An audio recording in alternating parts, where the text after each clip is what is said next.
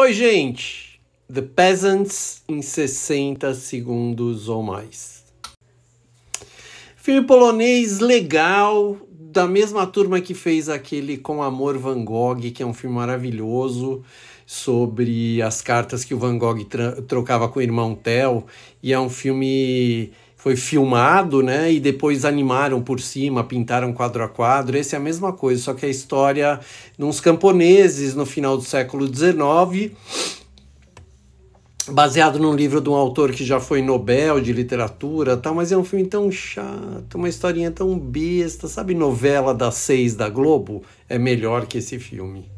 É lindo, lindo, lindo. As cenas também são todas colorizadas. Uh, o filme parece uma animação bem filmada, direção de arte linda, mas uma história besta, a história dessa menina linda do pôster. Ela, não eu.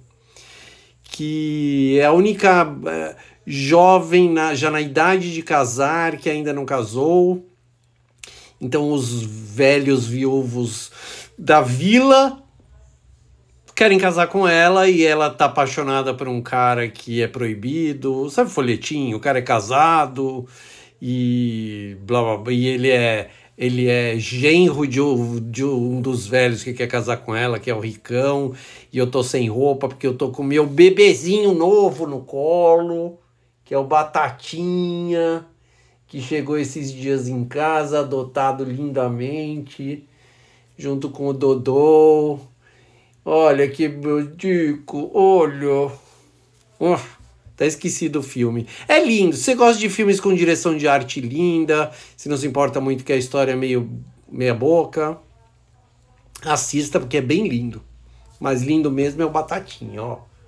Au, au, au, Batatinha. Batatinha.